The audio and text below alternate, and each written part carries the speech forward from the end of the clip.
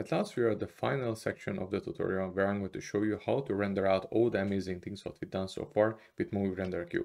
And this will cover how to set up the Movie Render Queue with master and shot configuration, what are the supported output formats, how to set up the Movie Render Queue settings for path tracer and deferred renders, and what are the most essential settings that you have to take care of. So let's take a look at it.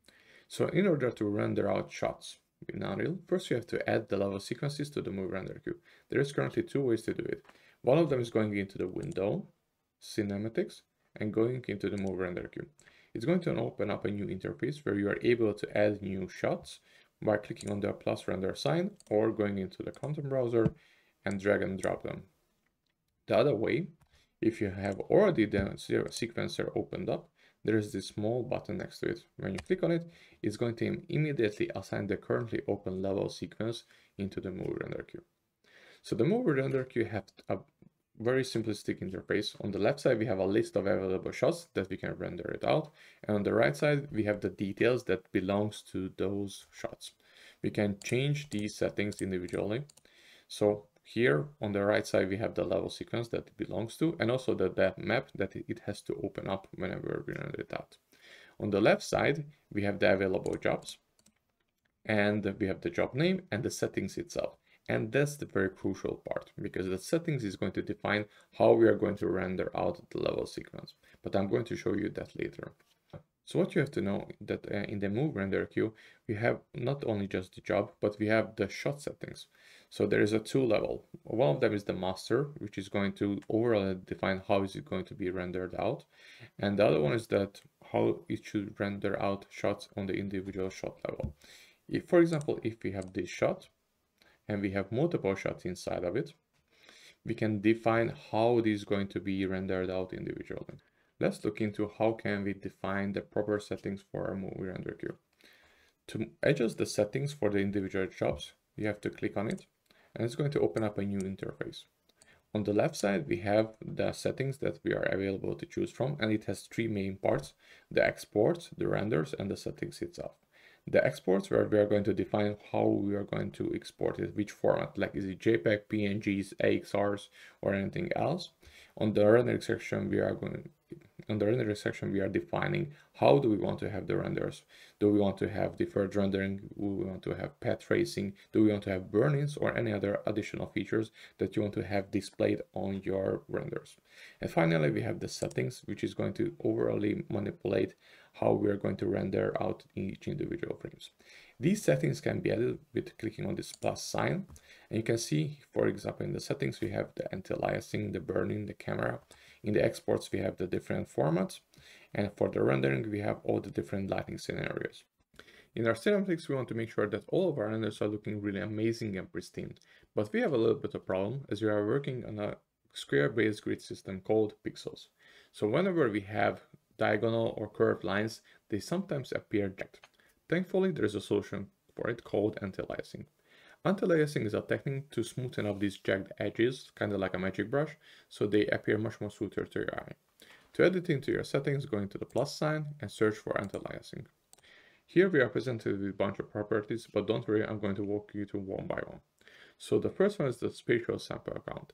And spatial sampling is a way how many times a pixel is sampled per pixel in one frame.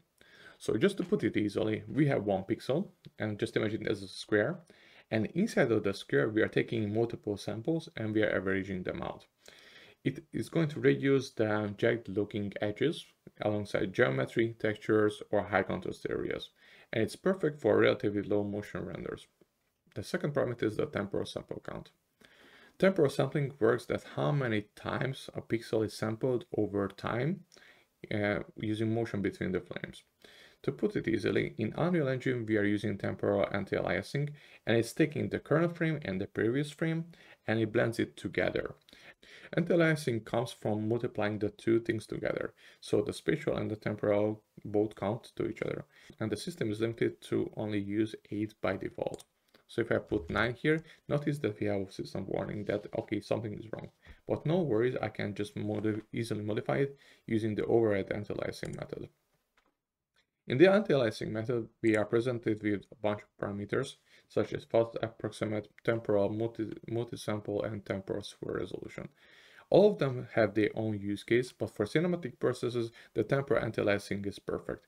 However, if you want to increase your anti-aliasing above 8 and you don't modify the project settings, I would definitely recommend that always use the none and just increase the amount what you want. Like let's say to here for the spatial sample count and to 8 for the temporal sample count. Two other amazing things what we have here is the render warm-up count and the engine warm-up count. The render warm-up frames is perfect for getting rid of the temporal effects such as anti-aliasing and the engine warm count is perfect for warming up the whole system that are GPU based such as Niagara system or like just waiting for textures to load. The next key topic to cover is to define the proper export format. In Unreal Engine, the standard config file comes with JPEGs, but it is not ideal. In the standard cinematic productions, we usually render out frames with EXRs because it's linear, and also it supports high dynamic ranges. On top of all this, it retains all the necessary information without modification. Also, it's lossless, and uh, if, if and also if you want to make any kind of post-production, it's a must-have feature to support it. To edit, go into the settings and choose the EXR sequence. Here we have different compression method and also if you want to have multi-layer or single layer setup. For multi-layer setup, you are able to add additional information to it. In this case, like we want to remove all the additional export formats because the, with the movie render queue, we can define multiple ones and it's going to render out sequentially. To ensure that we have consistent colors across both Unreal Engine and post-production side, we have to enable the color output in the settings. Go into the plus sign, search for color output, and remember that we created the OCIO configuration file. Here we have to assign that one. Just go into the configuration source, select it, and now we have to choose the source and the destination. The source has to be the Rec 709 because that's what we are using in the Unreal Engine. And for the transform destination, we have to use the ACES one. Same, the same thing what we done with the viewport. So when we have this one, we just have to finally enable the OCIO. So it's going to take it into effect in the renderings. So with this one, we not just preview it properly in the viewport, but we also render it out correctly with the renders. To render out the shot, it's going to be relatively easy to do it. You just have to select the level sequence and the configuration file that you previously defined and hit local render. It's going to open up a new terminal and based on your settings, what you define there, it's going to take either long or short amount of time. When the render is done, you can just click on the output folder and it's going to show you all the output files. Another amazing thing that we are able to do with Movie Render Queue, that we can override some of the settings that we define in the master configuration in the shot level. So in this case, we have the configuration test, and in the anti-aliasing, I have a spatial sample and temporal sample 1 and 1. I want to keep all the settings what I defined here for the master configuration, but for the shot settings, I want to override just the anti-aliasing. So if I click here and then anti-aliasing, and I increase the temporal level to 8 and I accept it, when I hit raw color render, notice that in the frames for the subsample is going to actually use 8 instead of 1. So the last topic that I want to cover is rendering with path tracer in Movie Render Queue. Usually we render out with deferred rendering and it is really good. However, if you want to have the utmost quality and the most precise lighting, you have to go with the path tracer. To enable it, go into the settings and in the rendering section search for path tracer. You have to remove the deferred rendering because you no, no longer need it. And for the path tracer, enable reference motion blur because it's going to give you much better sense of realism. For anti-aliasing, you have to bump up the sample count quite some, so I will put 512. And also make sure to over override anti-aliasing method and hit accept. When it is all done, click on the render local and it's going to render it up. So here's the comparison between the two rendering methods. On the left side I have the path tracer and on the right side I have the deferred rendering. Here on the path tracer we can see we have much better sense of realism because of the realistic lighting and reflections. However on the right side in the deferred rendering it still looks good but it's not quite so much, especially when we are looking at reflective surfaces. So in this final section, we covered how to render out level sequences with Movie Render Queue. That included how to create master configuration and shot configuration file, what are the key settings that you want to enable, such as anti-aliasing, color output, what are the proper output format that you want to go for for the cinematic production, and what is the difference using uh, deferred rendering and path tracer. Of course, this was a very general introduction to a very deep topic, and all of these settings could be explained in a detailed series itself, but I hope it gave you a general idea that what, what direction that you have to go for. What a journey we had until now. We covered everything that you need to know in order to bring your cinematic ideas to life in Unreal Engine. This included the proper project setup for cinematics, the proper shot structure for organization purposes, and the essential camera properties that you need to know.